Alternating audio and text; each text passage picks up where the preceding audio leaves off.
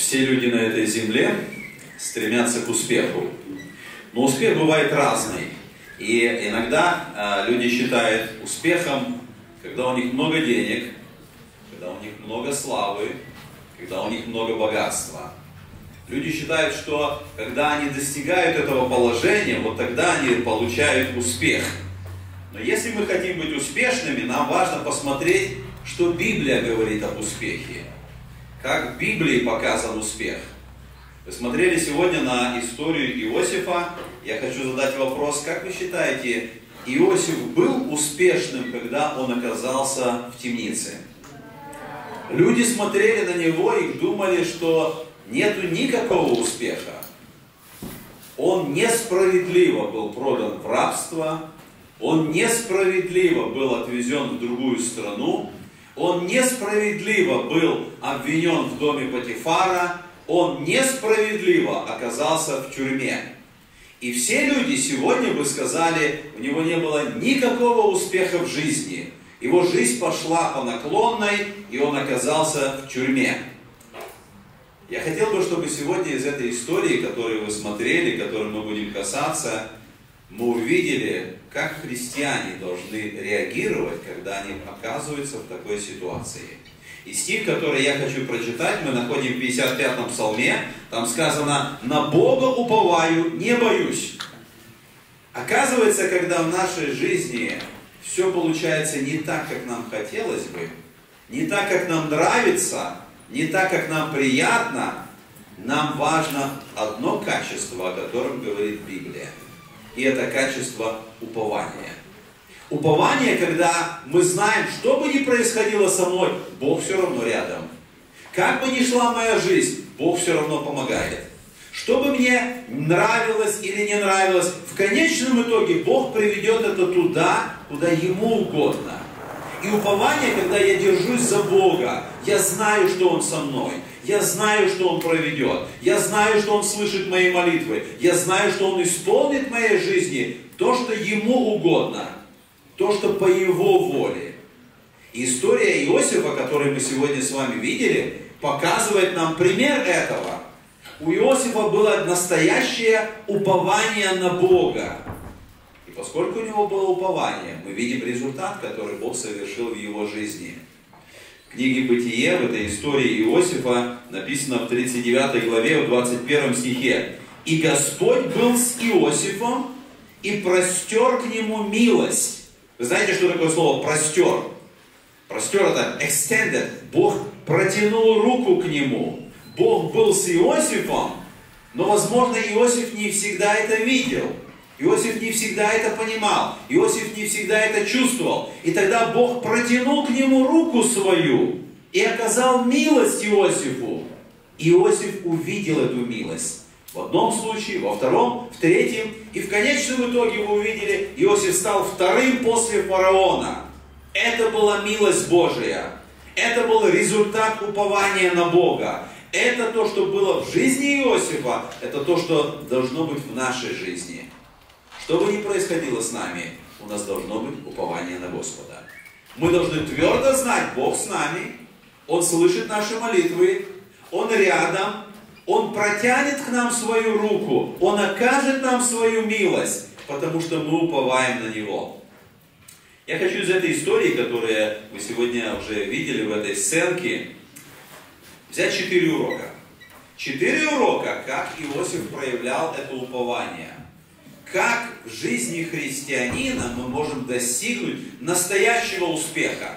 Успеха, о котором говорит Библия. Не так, как люди в этом мире. Не так, как неверующие понимают успех. Но так, как люди в этой жизни показано, нам показано в этой истории.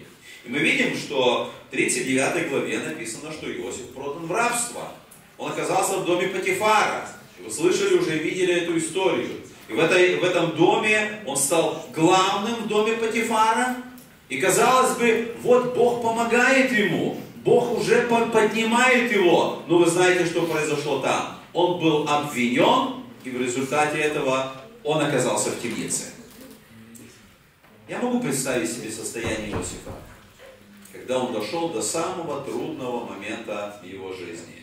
Когда он оказался в темнице, Но эта история показывает нам, что нам важно уповать на Бога в любых обстоятельствах. Настоящий христианин, он уповает на Бога, что бы ни происходило с ним. Хочу задать вам вопрос. Кто из вас был когда-то в тюрьме? Кто-то был в тюрьме уже? Некоторые были. Я был в тюрьме, но не потому, что меня наказали, но у нас была возможность ходить в тюрьмы, чтобы там проповедовать. Я вам хочу сказать, что когда ты заходишь за эти железные двери, их несколько железных дверей, то у тебя сердце начинает биться очень тревожно. Тюрьма – это страшное место, это опасное место. Я вам хочу сказать, что не всегда в тюрьму попадают преступники. Не всегда в тюрьме находятся те, кто сделали какое-то зло. Мой пра-прадедушка, grand-grandfather, был в тюрьме полтора месяца. Как вы думаете, полтора месяца в тюрьме это много или мало? Это вроде бы мало, но знаете, почему он был полтора месяца в тюрьме? Потому что через полтора месяца его расстреляли. В 1937 году в советской власти его арестовали как христианина и посадили в тюрьму. И через полтора месяца, 45 дней, приняли решение, и он был расстрелян за то, что он был христианин. Мой дедушка, отец моего отца, был три раза в тюрьме за то, что он был христианин. И это трудно, когда человек попадает в тюрьму, зная, что он ничего не сделал злого зная, что он ничего не сделал плохого. Это несправедливо, это неправильно, это очень тяжело. Но когда мы уповаем на Бога, Бог приводит к результату. Мой дедушка был в тюрьме три раза. Когда он находился там, он не знал, что через какое-то время он выйдет из тюрьмы, он станет пресвитером. Он не знал, что потом его сын и второй его сын станут пресвитерами. Он не знал, что я его внук когда-то стану пресвитером. Он узнал об этом, наверное, только когда он в вечности оказался. И мой grand-grandfather, он никогда не знал, что его потомки будут христиане, среди, среди его внуков, среди его правнуков будут верующие, пресвитера, преподаватели воскресной школы. Но когда мы уповаем на Бога, какие бы обстоятельства в нашей жизни не происходили, Бог дает силу проходить через самые большие трудности. Поэтому первая истина, которую я хотел бы сказать, Божье благословение не зависит от обстоятельств. Что бы ни происходило с нами, Бог посылает нам благословение. Потому что благословение от Бога – это не деньги, это не слава, это не известность. Люди в этом мире считают это успехом. Люди в этом мире стремятся иметь славу, деньги, богатство, дорогие машины. И они думают, вот это успех. Для христианина важен не успех, а благословение. А благословение, когда в твоем сердце мир, потому что ты знаешь, Бог со мной. И когда Иосиф оказался в тюрьме, когда его закрыли там, знаете, что происходило с Иосифом? Библия говорит, Бог был с Иосифом. Вы можете представить, что когда верующие христиане идут в тюрьму, Бог идет в тюрьму вместе с ними. И когда Иосиф был в тюрьме, Бог был вместе с ним в тюрьме. И в этом благословение. Потому что когда Бог с тобой, у тебя на сердце мир, у тебя спокойствие, у тебя радость, это благословение. И благословение не зависит от обстоятельств. Что бы ни происходило с христианином, Бог идет вместе с ним в любые ситуации. И поэтому мы видим, что очень сильная перемена произошла в жизни Иосифа, когда он оказался в тюрьме. С человеческой стороны это трагедия, это крах. Все, он дошел до самого тяжелого положения. Но Бог был с ним там. Мы делаем большую ошибку, когда думаем, что если в нашей жизни все хорошо, значит Бог благословляет. А если в нашей жизни какие-то трудности, значит Бог перестал нас благословлять. Это неправильно. Бог ожидает от нас верности и упования в любой ситуации.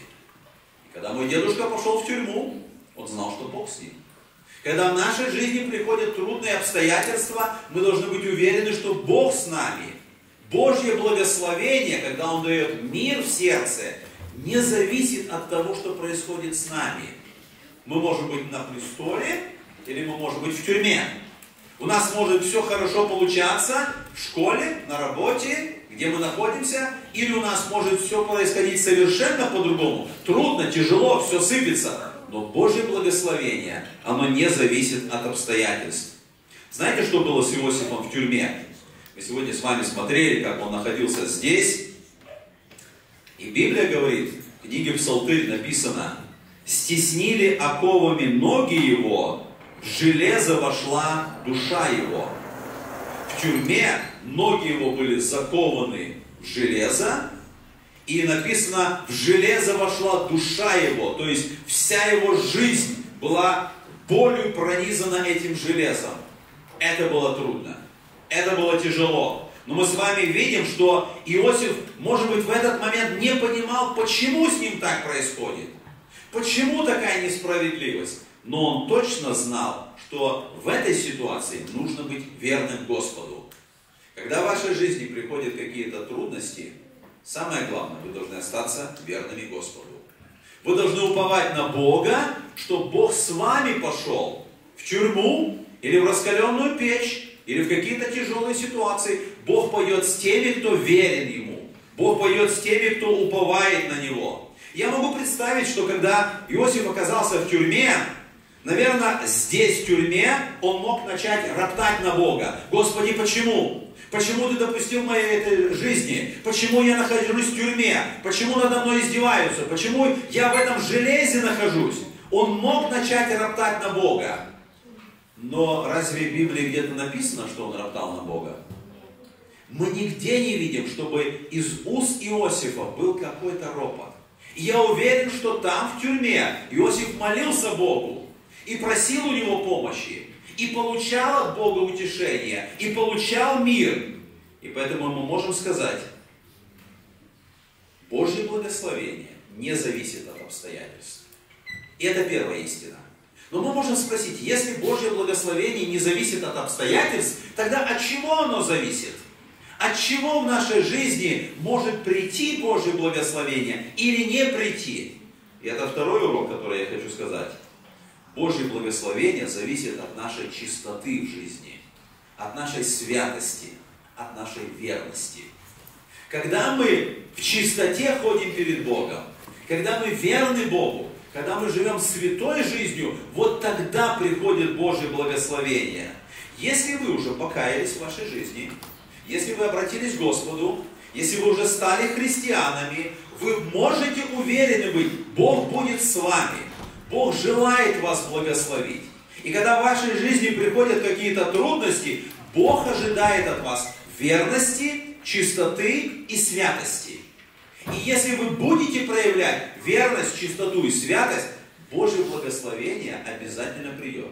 Где бы вы ни находились, в тюрьме или на троне, Божье благословение всегда будет. И мы прочитали этот стих в 39 главе книги Бытие. «И Господь был с Иосифом, и простер к нему милость, и даровал ему благоволение в очах начальника темницы. Вы видели в этой постановке, что так произошло.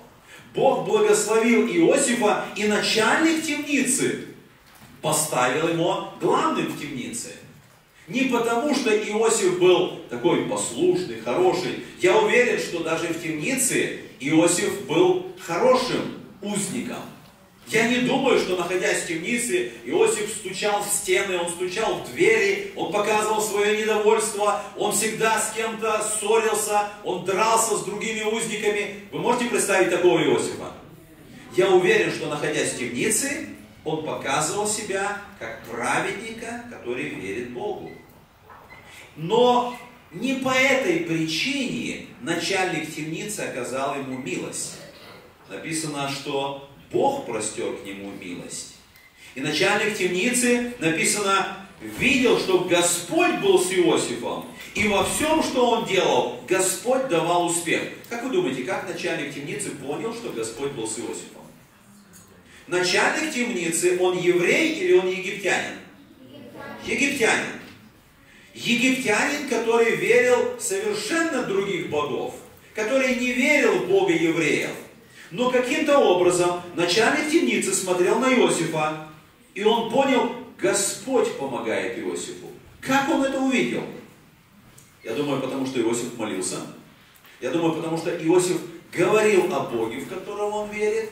Он рассказывал о том, как Бог действует в жизни. Он рассказывал, как Бог помогает. И этот египтянин, он увидел, что этот Бог, о котором говорит Иосиф, он действительно ему помогает. Этот египтянин увидел Иосифа, это праведник, это хороший человек. Он не просто на словах говорит о Боге, он жизнью показывает, что он верит Богу, он в чистоте ходит, и он свято поступает. Я вам хочу еще раз сказать, когда наше сердце чисто, когда мы ходим перед Богом, Бог посылает благословение. И как результат этого благословения в нашем сердце появляется радость. Когда мы уповаем на Бога, Бог дает мир, и мир приносит радость. И поэтому этот начальник темницы, он увидел состояние Иосифа. Он увидел его настоящую святость, и пришло благословение. Третий урок, который я нахожу в жизни Иосифа. Божье благословение нужно использовать, чтобы свидетельствовать другим. Иногда нам кажется, если Бог послал мне благословение, я должен сам наслаждаться этим благословением. Это моя заслуга, это Бог мне дал, я буду пользоваться этим благословением. Но на самом деле Божье благословение – это не богатство, как в этом. Это не слава, как в этом мире. Люди пользуются этим для себя. Они наслаждаются богатством, славой, властью, известностью. Когда Бог дает нам благословение, Бог ожидает от нас, что мы будем использовать это благословение для свидетельства о Боге другим людям. И мы с вами смотрим, что когда Иосиф оказался в доме Патифара, и когда Бог дал ему благословение, он использовал это благословение, чтобы свидетельствовать о Боге. Вы помните, что Патифар заметил в нем? Патифар увидел, Бог был с Иосифом. И поэтому Патифар поставил Иосифа главным в своем доме. Вы помните, что заметил э, начальник темницы? Он увидел, что Бог с Иосифом, и он поставил его главным в этой темнице. И потом в этой темнице пришли еще два человека. Как назывались эти два человека, которых мы видели сегодня? Виночерпий и хлебодар. Вы знаете, что это были за должности в Египте? Чем занимался хлебодар? Хлебодар не только давал фараону хлеб. Хлебодар отвечал за все пропитание а, фараона. Это была его главная должность. Это как у нас, кто у нас главный повар сегодня в лагере? Кто у нас главный повар? У нас там несколько поваров. Хлебодар отвечал за все пропитание фараона. Это была очень высокая должность. Чем занимался виночерпий? Виночерпий поставлял вино, но не только поставлял вино, он подходил к фараону, он набирал вино в чашу, и прежде чем он давал фараону, он должен был сам попробовать из этой чаши. Почему он должен был попробовать? Чтобы вино не было отравленное. Но виночерпий не только давал вино, виночерпий был очень высокой фигурой перед фараоном. Это был советник фараона. Он не только давал вино, он давал многие советы. Он помогал фараону в решении многих вопросов. И вот эти два человека, они оказались в тюрьме, они были наказаны за что-то, они были там, и мы видели, что им приснились два сна, каждому свой сон. Как поступил Иосиф, когда он услышал об этом? Божье благословение, которое Иосиф имел в тюрьме, он использовал правильно. Он начал этим благословением делиться и свидетельствовать о Боге. И когда он услышал эти два сна, он сказал, Бог может дать истолкование снов. Он начал показывать не на то, что у него есть какая-то способность. Бог может дать истолкование. И мы знаем, как произошло. Он дал точное истолкование, точно так исполнилось. Хлебодара через три дня повесили, а виночерпий вернулся на свое место. И вы помните эти слова, которые сказал Иосиф? Когда тебе будет хорошо, вспомни обо мне. Сделай так, скажи обо мне фараону, чтобы я не остался в темнице. И когда виночерпий вышел, когда он опять занял свое место, он стал советником, он стал рядом с фараоном, он вспомнил об Иосифе? Он не вспомнил. Два года Иосиф продолжал быть в тюрьме. И он не вспомнил то обещание, которое он дал. Но Иосиф по-прежнему был верным. И когда виночерпий наконец-то вспомнил, потому что у фараона приснился в сон, фараону никто не мог истолковать это, эти сны. И виночерпий вспомнил, да, два года назад был там этот еврей. Иосифа позвали, и он предстал перед фараоном. Вы можете представить себе эту ситуацию? Самое главное событие в жизни Иосифа. Он перед фараоном должен встать. Это самый главный appointment. Он приготовился, он остригся, он пришел туда. И теперь он должен использовать этот шанс. Так, по-человечески. Что-то фараон от него хочет. Иосиф должен все сделать, чтобы сделать правильно, чтобы не оказаться в тюрьме. И фараон рассказывает ему свой сон. И когда фараон рассказал сон, какие слова произносит Иосиф? Он говорит, это не мое. И фараон говорит, я слышал, ты можешь истолковать сон. Иосиф говорит, это не мое. Бог может дать ответ. Люди в этом мире поступили бы по-другому. Они бы подумали, я все сделаю, чтобы фараон увидел, какой я способный, какой я особый. Никто из мудрецов не могут, а я смогу, я скажу. Наверное, люди бы подумали, я не буду сейчас говорить о Боге, я потом фараону расскажу, что я в Бога верю. Пусть сейчас фараон подумает, что это я такой способен. Если он увидит во мне эту способность, он точно выведет меня из тюрьмы, он даст мне какие-то почести. Пусть он увидит во мне, что я особый, я лучше всех его мудрецов. Почему Иосиф так не сделал? Когда Бог дает нам свое благословение – мы должны его использовать, чтобы свидетельствовать о Боге другим людям. Иосиф так поступил, когда он услышал сон фараона, он сказал, я ничто, я ничего не умею, я ничего не могу, Бог умеет, Бог может. Бог даст истолкование фараону, потому что это не мое. Что сделал Иосиф? Благословение, которое Бог дал ему, он использовал чтобы показать на Бога, чтобы свидетельствовать о Боге другим людям, и хлебодару, и виночерпию, и начальнику темницы, и Патифару, и в конечном итоге самому фараону. Когда Бог дает вам благословение, вы должны использовать его, чтобы свидетельствовать о Боге. Когда в вашей жизни что-то произошло, и вы видите, что что-то в этой ситуации можно как-то рассказать о Боге, используйте это кого-то была ситуация, когда, ну вы еще маленькие, может быть, ваши родители или вы с родителями, вы пошли в магазин, вы покупаете какие-то продукты, вы даете 20 долларов, а эти продукты стоят 5 долларов, и вам должны дать change. Вдруг вы увидели, что вместо того, чтобы вам дали 15 долларов, вам опять дали 20 долларов. И продавщица что-то там неправильно сделала, она слишком много вам дала денег. Это неправильно. Она должна дать меньше. Мы как христиане, что мы должны сделать? Мы должны взять эти деньги и сказать, о, хорошо, у меня теперь 20 долларов, я сэкономил, у меня лишние деньги. Мы должны так поступить? Нет. Как мы должны поступить? Мы должны сказать, что вы ошиблись, вы слишком много дали. Это будет правильно. Но знаете, как бы поступил Иосиф? Если бы Иосиф оказался в этой ситуации, и он увидел, что ему дали слишком много денег, я думаю, он бы не поступил, так сказать, я честный, я христианин, вы слишком много денег дали бы мне. Знаете, как бы поступил Иосиф? Он бы сказал, я верю в Бога, который учит меня всегда поступать честно. Я боюсь Бога, поэтому вы дали мне слишком много денег.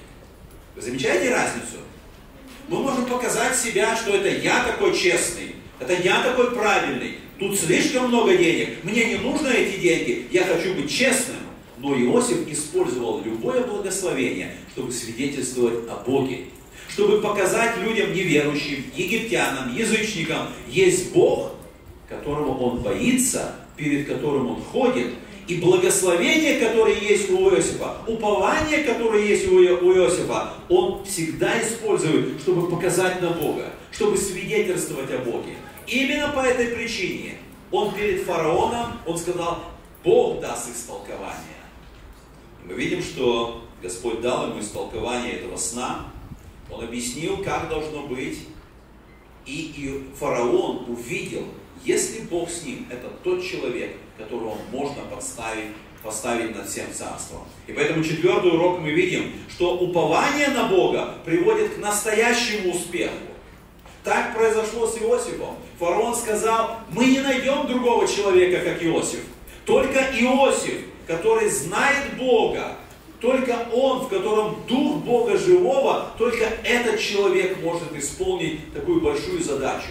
И мы видели, что фараон поставил его вторым, он дал ему право, и Иосиф исполнил то, что Господь ожидал от него. На самом деле мы видим, что то, что сделал Иосиф, когда 7 лет он собирал это зерно, он сохранял его, нам кажется, это просто мудрость Иосифа, и он как бы сделал хорошее дело для Египта. Знаете на самом деле, почему Бог послал Иосифа в тюрьму? Почему он послал его в дом Патифара? Потому что когда 7 лет Иосиф собирал зерно, в конечном итоге туда пришли его братья. Пришли братья, его семья.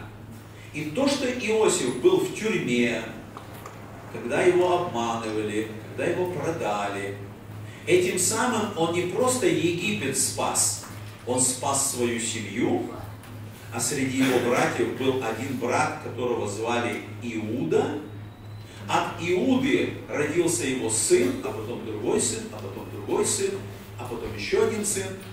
И через несколько веков от него родился Иисус Христос. И если бы Иосиф не спас своих братьев, если бы умерли все братья от голода, и в том числе и Иуда, это бы нарушило Божий план, чтобы на землю пришел Иисус Христос. Подумайте, когда Иосиф уповал на Бога, и он пошел и в дом Патифара, и в Египет, и в тюрьму, и он уповал на Бога, Бог через него исполнил великий план, чтобы его семья была спасена, чтобы в конечном итоге пришел Иисус Христос на землю, чтобы мы уверовали во Христа, чтобы мы стали христианами, чтобы мы получили жизнь вечную, которая через Иисуса Христа дарована нам. Но когда мы думаем о том, что сделал Иосиф, как он уповал на Бога, мы видим, что заслуги Иосифа и наше спасение. И то, что вы сегодня находитесь здесь, в этом лагере, слышите эту историю, это потому, что Иосиф уповал на Бога. Он остался верным Богу. Он получил результат этого упования, благословение и радость. И в этом пример для всех нас. И поэтому, когда мы смотрим с вами на эту историю, нам важно проверить, а у вас есть упование на Бога? Может быть, в вашей жизни не было чего-то еще страшного, трудного, может быть, у кого-то что-то и было. Когда обстоятельства тяжелые, проблемы, вы уповаете на Бога? И когда Бог дает вам благословение, вы используете это благословение, чтобы свидетельствовать о Боге. Бог всегда даст свой результат. Бог всегда даст благословение. Бог всегда выведет. Не каждый из нас станет премьер-министром в Америке. Не каждый из нас станет президентом, как Иосиф. Но Бог использует вас, чтобы достигнуть своей цели. Бог использовал Иосифа, и поэтому пришел Христос на землю, и мы получили спасение. Бог хочет каждого из нас использовать, чтобы исполнить свой план. Но нам важно уповать на Бога, нам важно получать благословение мира в сердце, и тогда Бог будет с нами. И тогда то, что произошло с Иосифом, исполнится с каждым из нас. Пусть Бог нам поможет в этом. Аминь. Давайте мы встанем, помолимся и поблагодарим Господа. Господь, мы благодарны Тебе за этого верного мужа Иосифа, которого Ты использовал для своей славы, которого Ты проводил таким трудным путем, но Ты посылал благословение в его сердце. Мы хотим научиться этому. Я прошу Тебя, благослови всех детей, которые находятся здесь в лагере, чтобы они взяли эти уроки для себя. И что бы ни происходило в их жизни, может быть тяжелые или трудные обстоятельства, чтобы они знали, что Ты всегда будешь рядом. Ты пошлешь свое благословение, Ты дашь свой мир, Ты дашь свою радость, потому что они уповают на Тебя. Помоги им не страшиться, не бояться. Помоги им всегда знать, что Ты рядом доверять свою жизнь Тебе, уповать на Тебя, чтобы Ты мог благословить их своим благословением. Слава Тебе за все, наш Господь. Аминь.